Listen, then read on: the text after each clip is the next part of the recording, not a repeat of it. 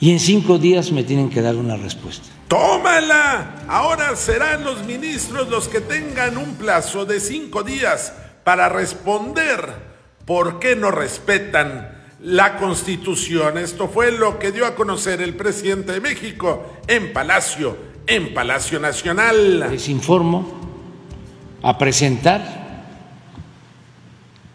a través de la Secretaría de Gobernación que tiene las facultades un escrito dirigido a la Suprema Corte de Justicia para que me respondan en el término establecido por este ordenamiento, ¿por qué ellos violan la Constitución? En especial, ¿por qué violan el artículo 127 de la Constitución que establece que nadie debe ganar más que el presidente de la República.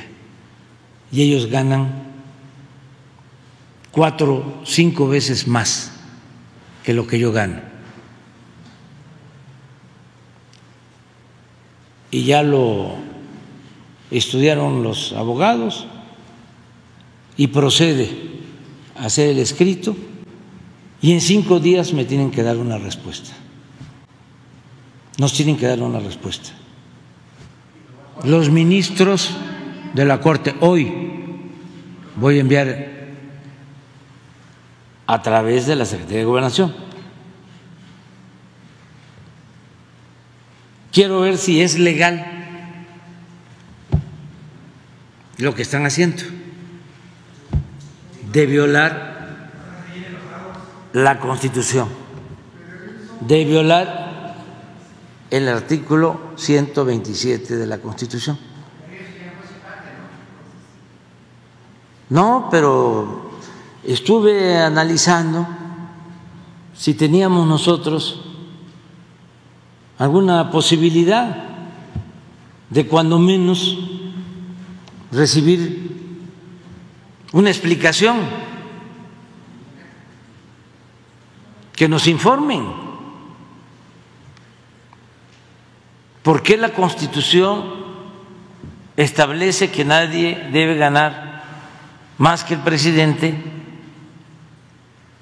y ellos ganan cuatro veces más?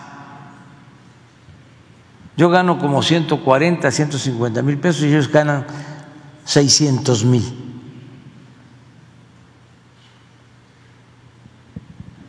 Entonces quiero que me expliquen para que yo lo informe al pueblo de México.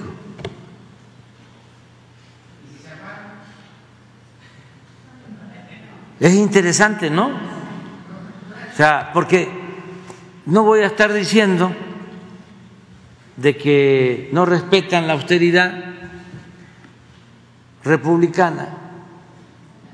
Tienen ahí a a Juárez, que por cierto, ese Juárez que tienen en la corte estaba en los pinos cuando Fox.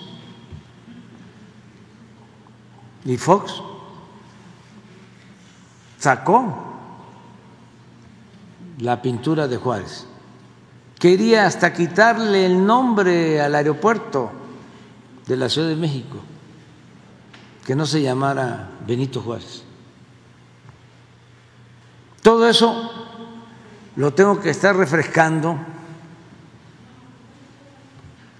no para los que leen el Reforma, esos son iguales que Fox, sino para los jóvenes.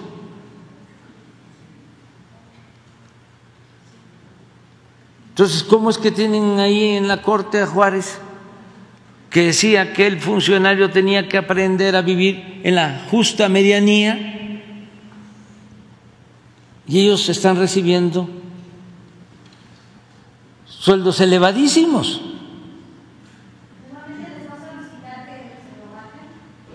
Es nada más que nos expliquen ¿Por qué ellos ganan cuatro veces más que el presidente? ¿Por qué violan la Constitución? Si es legal lo que están haciendo, eso es lo que les voy a solicitar y espero respuesta. Hay un ordenamiento de, del Poder Ejecutivo sobre las facultades de la Secretaría de Gobernación. Se va a fundar el escrito a partir de este ordenamiento legal. Hoy se les va a entregar a ustedes, una vez que se reciba en la Corte. ¿Mande? Sí, creo al mediodía ya va a estar terminado. No, no, eso ya lo estamos informando ahorita también. ¿Cuántos? Este. Ah, porque son cinco días. Este, pues a lo mejor este, ya tenemos respuesta, si no, esperamos.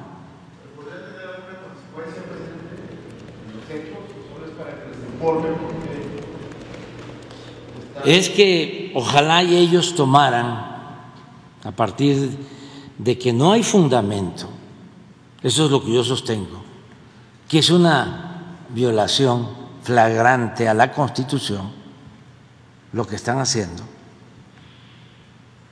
Ojalá ellos que son los jueces, los encargados de cuidar de que no se viole la Constitución,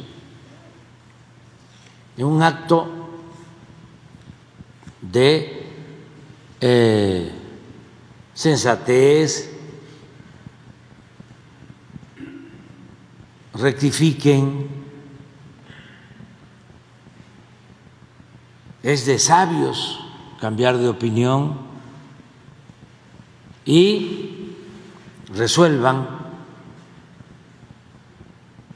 que van a actuar con austeridad y sobre todo que se va a respetar el artículo 127 para que deje de ser letra muerta.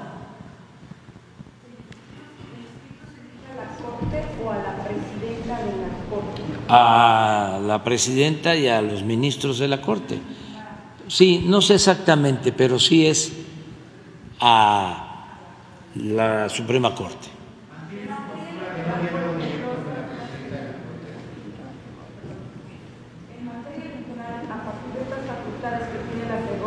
¿Se podría hacer un símil para que el Tribunal Electoral o el INE dijera si se incurre o no en alguna falta No, no, no hay, no creo que haya facultades para eso. El, el proceso electoral formalmente empieza hasta septiembre. Sí, pero no. No está regulado. No, no, pero eso no está. No, este, legalmente sí puede la Secretaría de Gobernación eh, solicitar eh, un informe a cualquier autoridad sobre eh, el buen desempeño de la institución.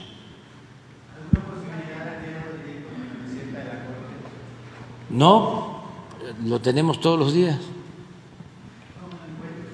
Sí, este, con la secretaria de Gobernación, sí, este, tenemos eh, una actitud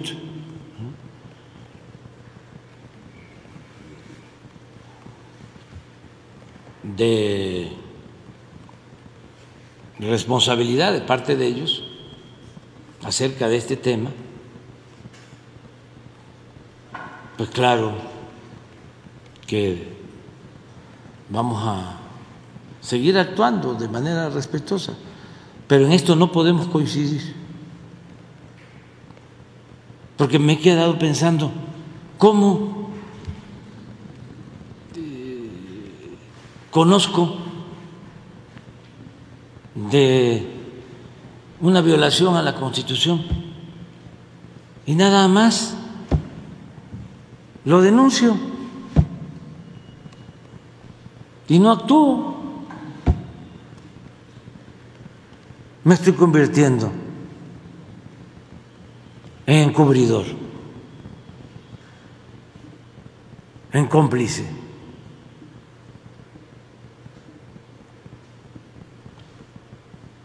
Que quede constancia de que hicimos todo lo que legalmente es posible.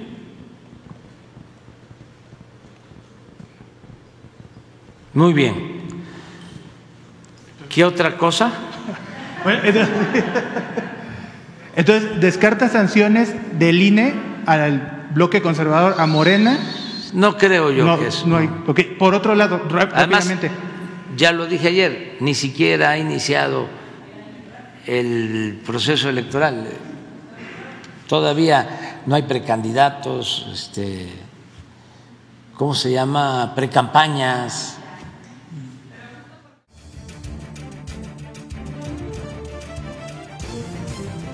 Desde el aire, en 360 grados, con transmisiones en vivo desde el lugar de los hechos, con la mayor tecnología, pero sobre todo, con objetividad e imparcialidad. Noticiero en redes. Honestamente, te informamos.